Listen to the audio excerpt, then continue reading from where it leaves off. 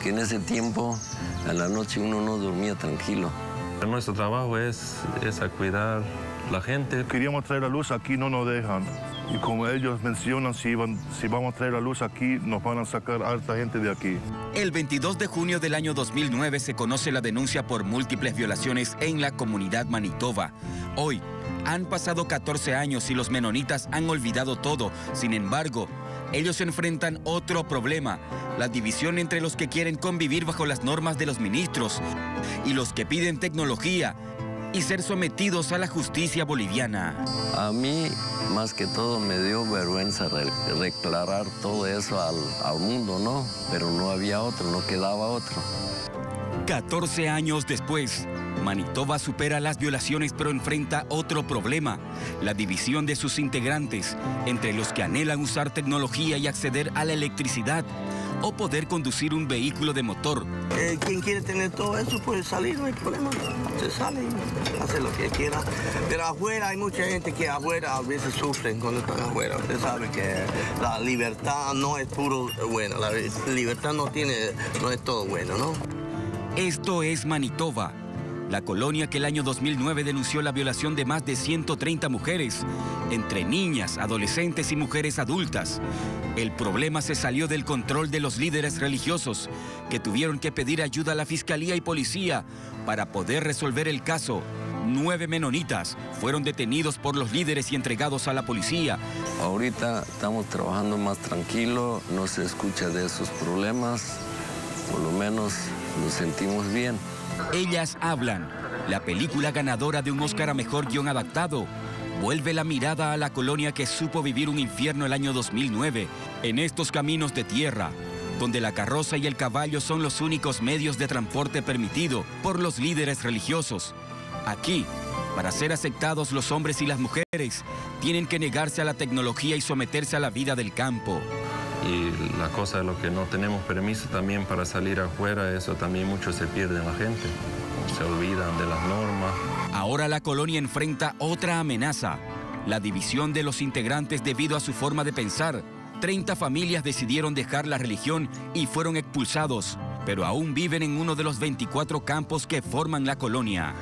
Prohíben hartas cosas, prohíben primeramente el celular, tractor, no quieren que, que tenga goma, rueda de goma y los camionetas también. Los chicos en las calles no, no tienen diversión, no pueden jugar fútbol. Aquí, Jacob Fraser vive junto a su esposa y sus 10 hijos, tres mujeres y siete hombres, que trabajan todos los días desde las 5 de la mañana. Los niños solo tienen derecho a estudiar hasta saber leer y escribir. Luego son utilizados para trabajar. Porque tampoco no nos sirve de nada que toda la gente van a la universidad y nadie trabaja, ¿no? Las mujeres son educadas para trabajar dentro de casa y criar muchos hijos. Tienen prohibida la educación superior y su opinión no importa. Está limitada a obedecer a su esposo. Tenemos los jefes, los ministros que nos dan órdenes qué podemos tener y qué no podemos tener. Y eso nosotros tenemos que respetar. Pero ¿cómo es un día en la colonia? La jornada empieza a las 5 de la mañana. Abraham Freezer es un menonita que sigue la religión que le enseñó su padre. Tiene tres hijos y todos los días madrugan para ordeñar las vacas. Cada uno se busca lo que uno, uno produce soya, mientras que el otro está ordeñando, eh, mientras el otro produce leche y otro con ganadería. Esta es la carroza recolectora de leche que pasa todas las mañanas por los diferentes campos aquí en la colonia Manitoba para luego traer el producto hasta este lugar en donde es depositado y luego es intercambiado por víveres. Juan Weaver es uno de los primeros menonitas que se apartó de la religión que practican en la colonia. Sueña con un mundo diferente para sus hijos. Yo creo que es mejor, si uno vive en un país, mejor seguir su propia ley, lo que tiene el país. El Campo 309 es el refugio de las 30 familias apartadas de la colonia. Aquí, nadie está obligado a utilizar la vestimenta tradicional. Los deportes, la televisión, la radio o el celular son permitidos. Muchas familias aquí están aquí porque no se sentían cómodos dentro de su religión o dentro de su cultura.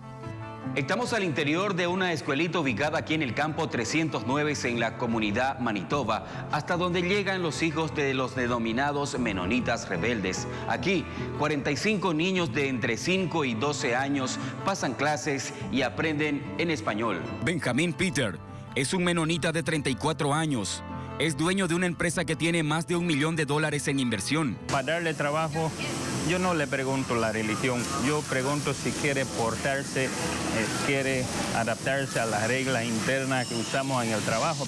Para mí sería gran cosa si podía tener acceso a la, a la luz de la CRE, porque lo necesitamos aquí, pero no nos permite la colonia porque dicen que los títulos son de todos juntos y como nosotros somos minoría, la mayoría manda. Y... Así, 14 años después de las violaciones, un grupo de menonitas busca integrarse al mundo actual. Piden que el Estado los reconozca y les dé condiciones para producir y progresar.